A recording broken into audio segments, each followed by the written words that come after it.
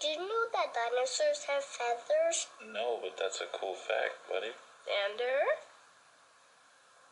Let mommy's friend sleep. Okay. Go brush your teeth for school.